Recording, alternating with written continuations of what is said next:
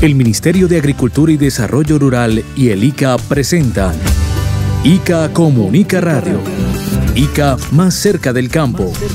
Así contribuimos a la reforma rural integral y al desarrollo sostenido del sector agropecuario mediante la prevención del riesgo, promoviendo la extensión agropecuaria en materia sanitaria y fitosanitaria bajo la premisa de prevención es sanidad. Bienvenidos a ICA Comunica Radio.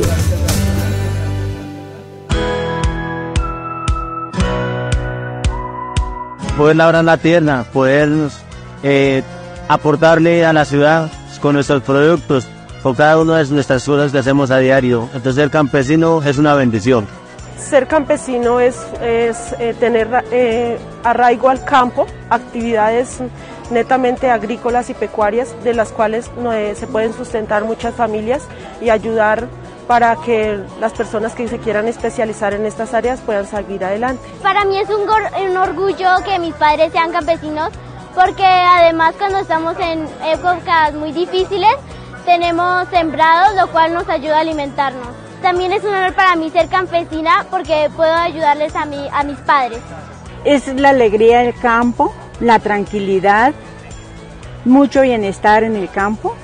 Cuando yo tengo vacaciones puedo ir y conectarme con la naturaleza y también me puedo conectar con mis animales para, para jugar con ellos y no divertirme con, con el celulares. ¡Que viva el campo! ICA, más cerca del campo.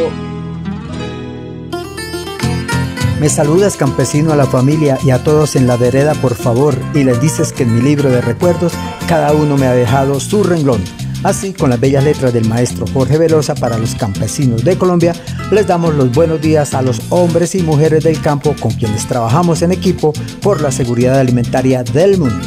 Muchas gracias a todas las personas que nos acompañan con su amable sintonía. Sean todos bienvenidos a una nueva emisión de nuestro programa ICA Comunica Radio.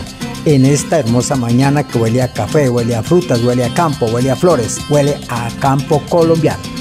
Y con mucho gusto les habla su reportero agropecuario Héctor Cáceres, que junto al equipo del ICA Comunica les damos la bienvenida. Instituto Colombiano Agropecuario, ICA. La extensión en materia sanitaria y fitosanitaria está dirigida a mejorar las capacidades de las familias campesinas, comunidades indígenas, producción de traspatio, jóvenes y mujeres rurales, asociaciones de campesinos, así como a pequeños y medianos productores para prevenir y enfrentar los impactos de la presencia de plagas y enfermedades en los sistemas productivos, promoviendo el desarrollo sostenible e integral del sector agropecuario, todo por la seguridad alimentaria de las personas y los animales. ICA, más cerca del campo. Como lo hemos mencionado, la estrategia tiene dos componentes, como son el zoosanitario, es decir, en producción animal como carne, leche, huevos, peces, pollito, y el componente fitosanitario, lo que tiene que ver con producción agrícola, como son frutas, verduras, hortalizas, granos, yuca, maíz, papa, plátano, de todo, mejor dicho, todas las delicias del campo colombiano. Justamente este es el tema de hoy, la extensión fitosanitaria y las bondades para que tengamos cultivos y cosechas seguros para el consumo humano, todo dirigido a la seguridad alimentaria de los ciudadanos.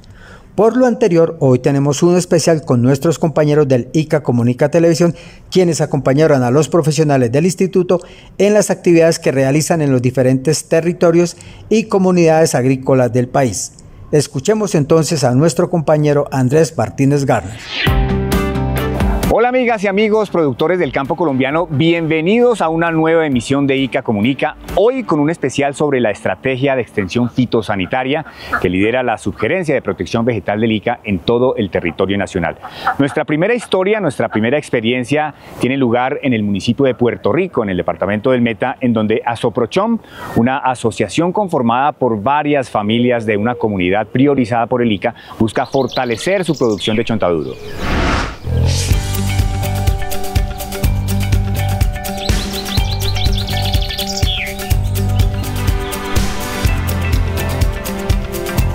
Bueno, mi nombre es Andrea del Pilar Mayusa Castro, soy la secretaria de Soprochón. Es la Asociación de Productores de Chontaduro del Meta. Actualmente la conformamos 33 familias con el tema de enfoque de legalidad y transformación territorial. Anteriormente eh, todos nuestros productores eran cultivadores de coca, de cultivo ilícito. Cuando ingresó el acuerdo entre las distintas FARC y el gobierno nacional, eh, nació el programa de sustitución de cultivos ilícitos. En ese nuevo contexto y con la esperanza de dejar atrás una larga historia de violencia, en el 2021 Asoprochom, bajo el liderazgo de Pilar, ingresó al programa de sustitución de cultivos con la idea de buscar nuevas alternativas que les permitieran tener un sustento digno dentro de la ley apostarle a la legalidad es transformar vidas. Si nosotros no sembramos el cultivo ilícito como la coca, eh, no dañamos familias, no llevamos gente a la delincuencia, no llevamos gente a la guerra. Si nosotros sembramos chontaduro, le estamos diciendo a la gente tenemos una soberanía alimentaria, mejoramos la economía del territorio, mejoramos el alimento para los animales, le damos eh, comida y alimentos a todos los ecosistemas que viven dentro de nuestras áreas. Esta asociación agrupa a productores de chontaduro de cinco veredas del municipio de Puerto Rico en el extenso departamento del Meta. Hasta allí llegamos luego de cuatro horas de recorrido desde Villavicencio, trayecto que incluyó cruzar en ferry el río Ariari para acompañar una jornada de capacitación con la comunidad como parte de la implementación de la estrategia de extensión fitosanitaria del ICA.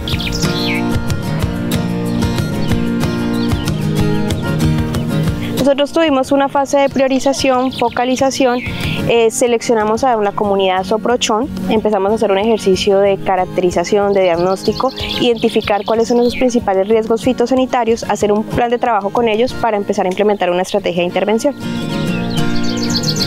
Para nosotros es una ilusión esta estrategia para poder hacer un control de plagas de una manera orgánica, poder empezar una ruta de comercialización más saludable para nuestros clientes. La estrategia de extensión fitosanitaria lo que busca fundamentalmente es fortalecer las capacidades técnicas de los productores de tal manera que esto redunde en un mejoramiento de la sanidad de sus cultivos y la obtención de alimentos inocuos, es decir, que no causen daño a la salud humana. Esto teniendo en cuenta que lo que se quiere también es eh, garantizar la seguridad alimentaria de estas comunidades. Mónica, ¿estos objetivos de la estrategia en qué se basan fundamentalmente?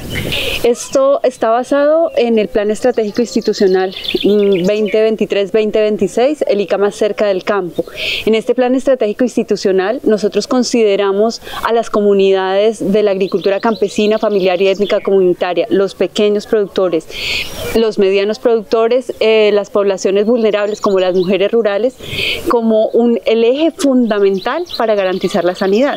Y la idea es que ellos aprendan, digamos, en el tema sanitario, identificar plagas, identificar síntomas y cómo o, notificar ante el ICA o, darle algún manejo de acuerdo con la capacitación que se les dé. Sí, es el, el enfoque que tenemos, eh, que nuestros servicios sean de, sean de conocimiento por parte de los productores para que se acerquen a nosotros, nosotros colectemos las muestras, las llevemos y una vez las tengamos identificados, cada uno sepa cuál es el escenario completo del riesgo fitosanitario al que está enfrentado su sistema productivo.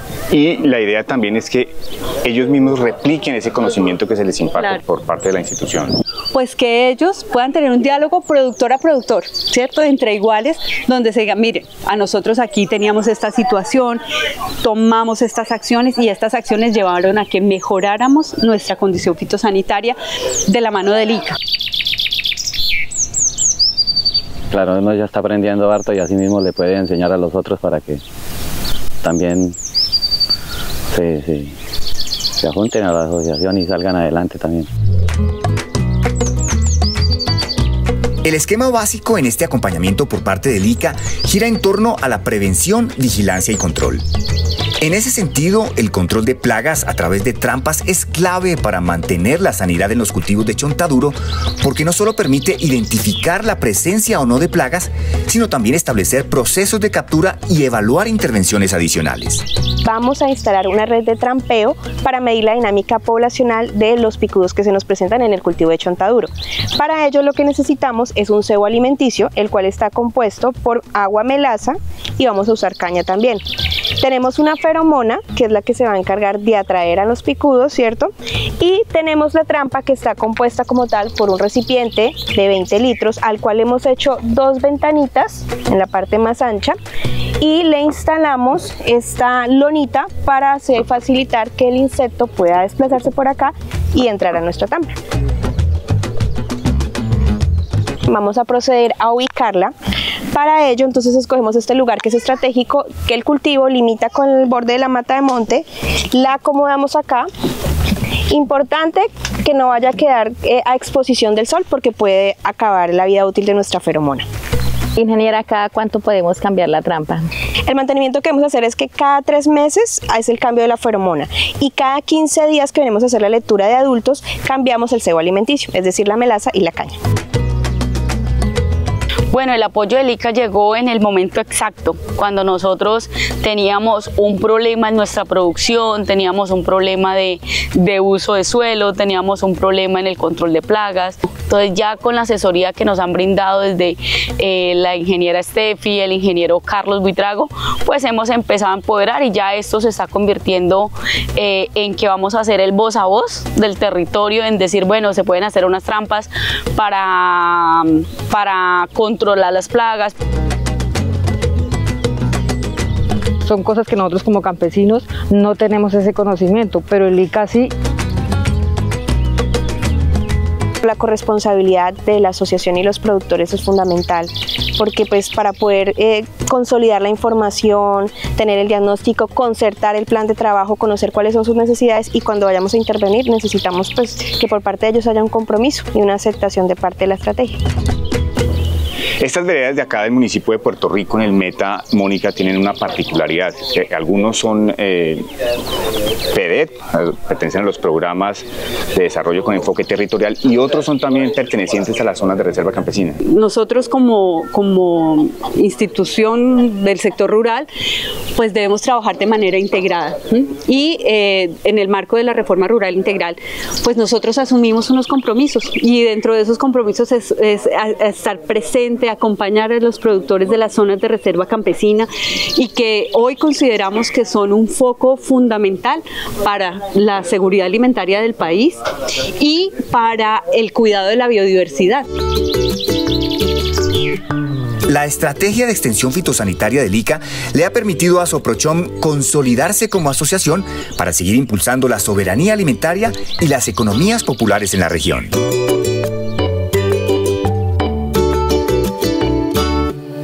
En esta época de lluvias es muy importante aplicar el bienestar en nuestros animales de producción como bovinos, cerdos, equinos y caprinos y aves. Escuchemos entonces las recomendaciones del ICA. Pilas con las lluvias, prepárate y actúa. Atención, señor productor agropecuario. La seguridad alimentaria para animales de producción y animales domésticos en temporada de lluvias debe ser una prioridad. Prepárate y actúa. Tenga reservas de agua potable, limpia y fresca y de fácil acceso para los animales. Reduzca la carga animal en cada potrero para maximizar los forrajes y agua disponible para el ganado. Prepare heno, ensilajes y alimentos alternativos y almacénelos en sitios seguros, secos, con buena ventilación, libres de sustancias contaminantes y evite los roedores. Fabrique bloques multinutricionales. Estos permiten el suministro de diversos nutrientes de forma lenta y efectiva y contribuyen a una adecuada nutrición y bienestar animal. Haga equipo con sus vecinos y generen estrategias para asegurar el alimento para los animales. Tenga a la mano los contactos de las autoridades y organismos de socorro. La seguridad alimentaria para los animales de producción garantiza la de todos. Prepárate y actúa. Bien, y seguimos en este especial de ICA Comunica sobre la estrategia de extensión fitosanitaria y zoosanitaria del instituto y para eso nos acompaña hoy Andrea Amalia Ramos Postilla, directora técnica de Sanidad Vegetal del ICA. Andrea, bienvenida como siempre a ICA Comunica. Muchas gracias, Andrea. Empecemos, Andrea, por contarle a los televidentes de dónde se desprende esta estrategia de extensión sanitaria. Esta estrategia podríamos decir que se desprende de un momento muy coyuntural de Estado, de política pública, de una necesidad institucional también de hacer las cosas diferentes, ¿no? Desde un trabajo gerencial, de planeación, de sugerencia, en donde todos eh, nos sentamos a pensar en un momento a decir, bueno, eh, hemos venido haciendo así las cosas, está bien, pero necesitamos a través de este llamado de ministerio, de gobierno, a acercarnos más a la comunidad. ¿Cómo lo vamos a hacer? ¿Cómo podemos hacer? Y empieza una serie de ideas desde el área agrícola, desde el área pecuaria, para poder delinear, porque es un trabajo que requiere requiere de, de sentarse a delinear cómo se va a hacer, cómo lo vamos a llevar, cómo vamos a invertir nuestro tiempo, nuestros recursos en esta nueva forma de hacer las cosas, ¿no? Que no es, que, que no deja de hacer lo demás, pero que empezamos un nuevo, una nueva ruta, algo diferente. ¿Cómo se priorizaron, Andrea, las, las comunidades o los lugares de producción para implementar la estrategia? Esto también, como te digo, es un trabajo muy pensado de grupos de trabajo desde el área agrícola, pecuaria y planeación con gerencia, quiénes van a estar, cómo lo vamos a hacer, dónde vamos a llegar. Y por supuesto, uno de los factores más relevantes es atender a las comunidades que por política pública eh, han estado muy relegadas de años atrás. Entonces, aquí, ¿qué tenemos? Tenemos... Eh, zonas de reserva campesina, tenemos municipios PEDET, tenemos comunidades que han sido eh, vulneradas en sus derechos sociales en muchos sentidos, entonces están comunidades reinsertadas, comunidades que están abandonando los cultivos ilícitos y haciendo su transferencia a cultivos lícitos. Esas comunidades con las que tenemos una deuda social y en el área agropecuaria pues mucho más, ¿cierto? Eh, esas son las comunidades que en principio nosotros estamos priorizando, en principio, porque pues en realidad también atendemos otro tipo de comunidades, asociaciones que quieren estar con nosotros y que no han estado en esa situación pero quieren trabajar, entonces tampoco podemos cerrar las puertas. En este momento en el área vegetal, netamente el tema fitosanitario, ¿en cuántos municipios estamos? Estamos en 142 municipios en todos los departamentos y en 182 comunidades atendidas. Si bien, Andrea, el ICA ha estado siempre trabajando de la mano con los agricultores, en este caso, eh, velando por la sanidad de sus cultivos, ¿cuál, ¿cuál es ese plus que le da ahora la estrategia? ¿Cuál es ese factor diferencial? El plus es lo que nosotros creemos eh, que se convierte en ese acompañamiento. Generalmente nosotros como institución atendemos diferentes sistemas productivos. Usualmente atendíamos productores comerciales, pequeños, medianos y grandes. Hoy en día que también surgió desde el año pasado, atendemos otro gran sistema productivo que son los agricultores de agricultura campesina, familiar, ética y comunitaria. Eso también es nuevo para el instituto. Entonces lo que nosotros hacemos es que nos hemos acercado por parte de la institución a hacer vigilancia, hacer inspecciones, hacer control en algunos casos, hacer registro de lugares de producción, hacer registro de exportadoras, bueno, un, un sinnúmero de servicios que nosotros tenemos.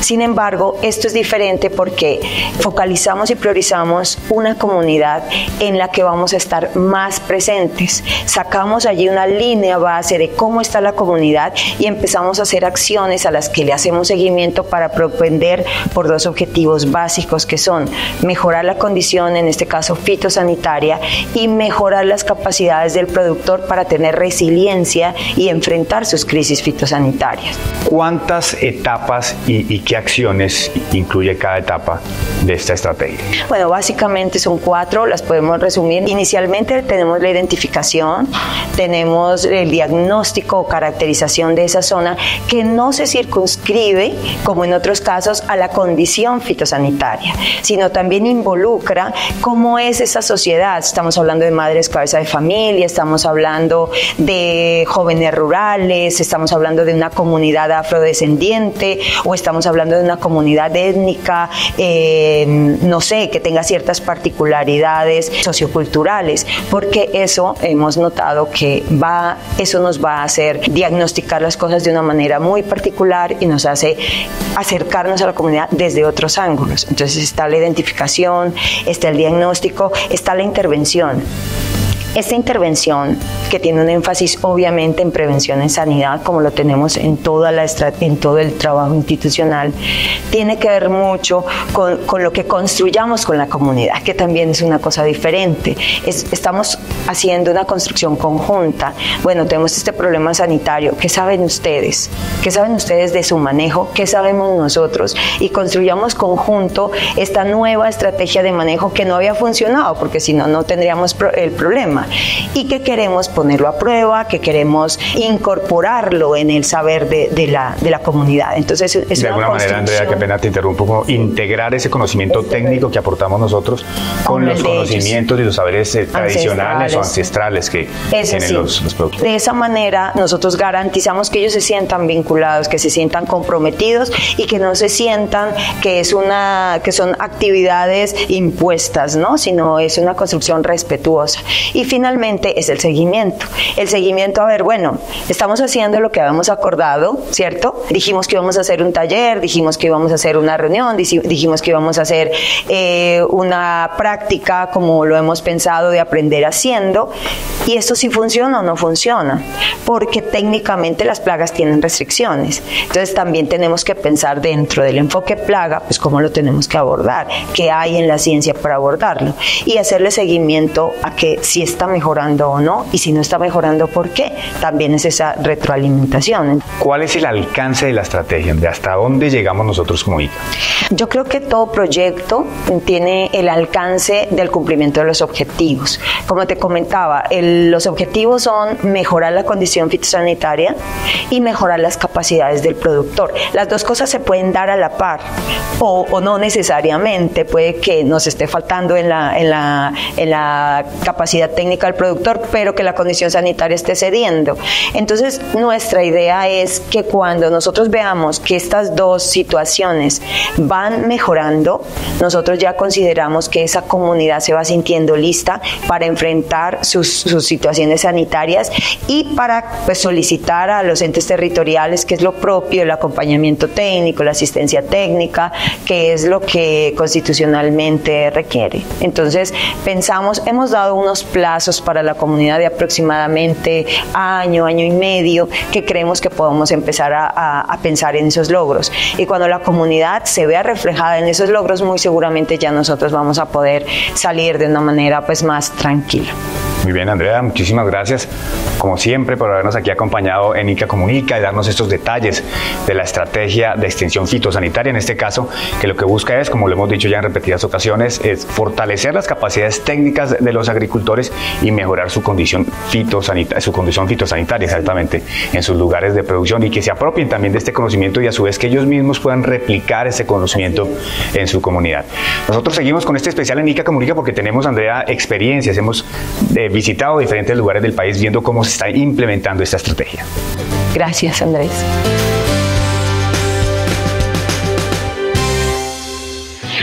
ICA, más cerca del campo. Gracias a todas las personas que nos acompañan con su amable sintonía en el ICA Comunica Radio, programa que con mucho gusto hacemos desde el Instituto Colombiano Agropecuario ICA para todos los productores agropecuarios de Colombia. Continuamos con nuestros compañeros del ICA Comunica Televisión y este especial de extensión fitosanitaria, la cual está dirigida a la seguridad alimentaria de los ciudadanos. Y en el último segmento de nuestro especial sobre la estrategia de extensión fitosanitaria del ICA, vamos ahora al municipio de Pradera, en el Valle del Cauca, para conocer las acciones que llevan a cabo nuestros profesionales en beneficio de los productores de esa zona del país, quienes buscan recuperar y reverdecer sus producciones de habichuela con el acompañamiento del ICA. En el Valle del Cauca, el ICA ya está implementando la estrategia de extensión fitosanitaria y Pradera es uno de los municipios beneficiarios. Leslie Noguera es la responsable del programa aquí en la seccional del ICA en el departamento. Leslie, en este momento, ¿en qué etapa de implementación estamos? Ya finalizado la primera etapa que fue de identificación en donde se focalizaron los municipios a intervenir, en este caso Pradera, por ser un municipio perteneciente a los programas de desarrollo con enfoque territorial, se priorizaron tres comunidades aquí. En el municipio de Pradera. Municipio. Allí nos esperaban los miembros de la Asociación de Productores de Hortalizas de la Vereda La Floresta, en Pradera, Valle del Cauca, para llevar a cabo el proceso de caracterización, que consiste en diligenciar unos formatos con preguntas que permitan identificar eventuales riesgos que puedan afectar sus cultivos. Qué semillas están usando, los insumos que están aplicando, eh, riesgos que pueden tener por pérdidas de riego, lluvia, sequía. Y al final se realizan unos compromisos, en este caso el compromiso que estamos realizando con ellos es el acompañamiento, el seguimiento de parte del ICA, para mejorar la condición fitosanitaria.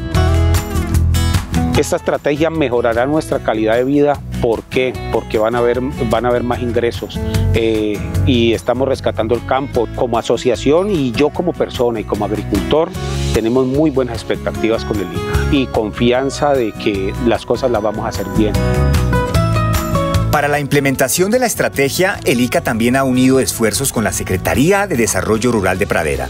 Nos hemos articulado entre las dos instituciones buscando junto con los campesinos y productores de zona rural del municipio, identificar experiencias que son de agricultura familiar campesina, y también identificar y dar solución y pautas para el manejo de enfermedades.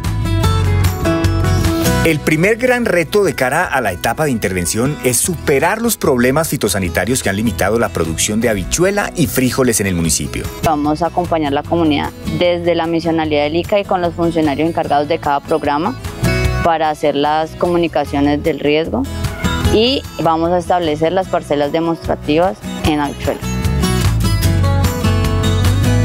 Era un municipio productor de habichuela hace mucho tiempo. Hoy en día no se, no se, puede, no se puede producir porque el cultivo no llega a su etapa final. Nosotros estamos interesados en lo que es soberanía y seguridad alimentaria y eso nos exige que tengamos una diversidad de cultivos que hoy no lo podemos tener por esos problemas fitosanitarios, que esperamos resolver con esta estrategia.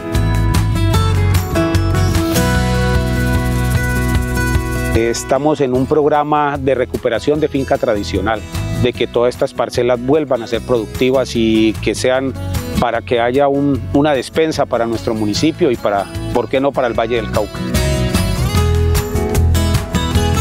La estrategia de extensión fitosanitaria del ICA beneficia a nuestros productores básicamente en el manejo, control y prevención de posibles daños fitosanitarios, además de una posible propagación de enfermedades que pueden afectar directamente la economía del productor campesino y también las dinámicas sociales del territorio rural y de la misma economía agropecuaria del municipio lo que nos hace que podamos ayudar a mejorar la condición fitosanitaria de las comunidades y eh, asegurar su alimentación.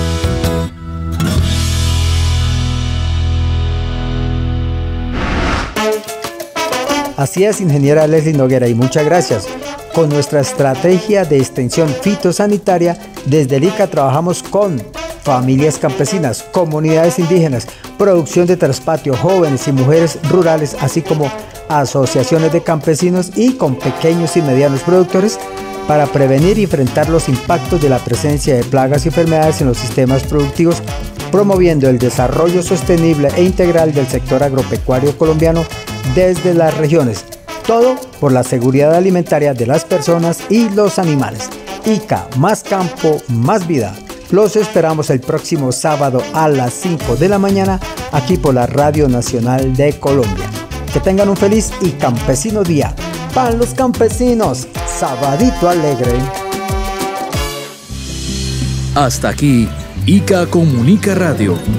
Programa del Ministerio de Agricultura y Desarrollo Rural y del Instituto Colombiano Agropecuario ICA. Gracias por acompañarnos en ICA Comunica Radio.